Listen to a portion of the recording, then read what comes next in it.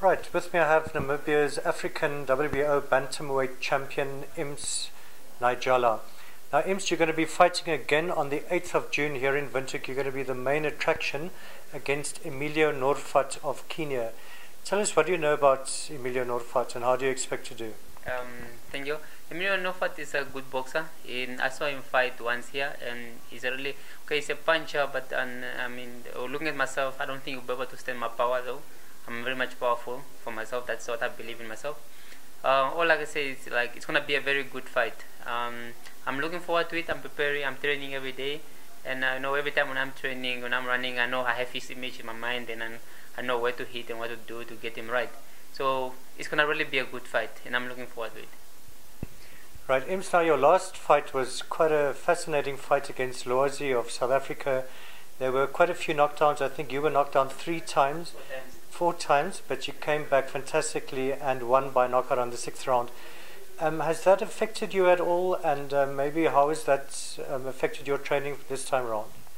Um, no, you know, uh, in the sport we are in boxing, you must you you ex- ex- you expect anything. Anything can happen in any fight, and the fight can change in a few in a blink of an eye.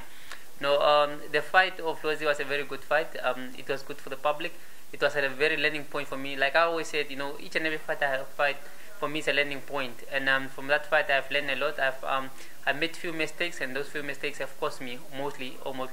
But um, I was man enough to do what I did because I knew even if we would have got the 12, 12 round I would have won points because I, I knew what I was supposed to do.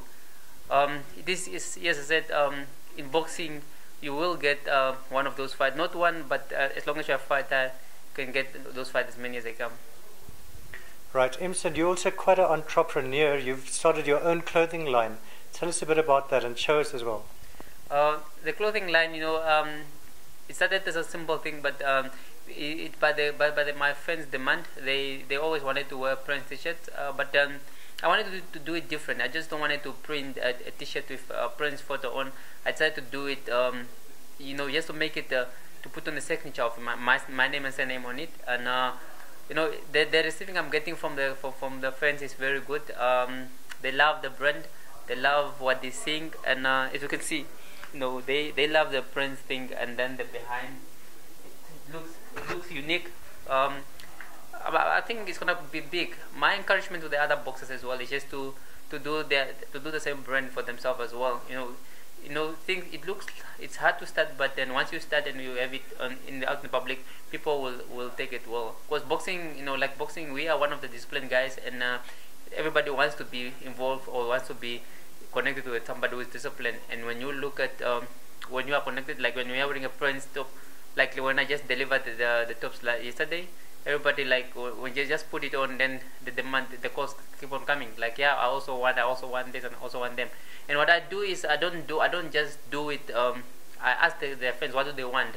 They, they tell me what what what do they want what style they want what do you want T-shirt, top then i do it for them. That's what i do. And i'm looking forward to make it a big brand. Great. like now i'm, I'm actually like now I'm, I, I got orders for the kids as well. You know when if you if you come to notice like at boxing there are always young boys who are like now in Namibia, if you ask a young boy about boxing, you tell more about Prince. You know, um, I decided to do things more, uh, those clothing for them, because they, they really, to them, they will buy because they will pour, the, their parents will buy for them because they will force the parents to buy. And uh, in business, they say if you want to do business, you must start with the young ones because the young ones, when start, start making something, the parents will buy it.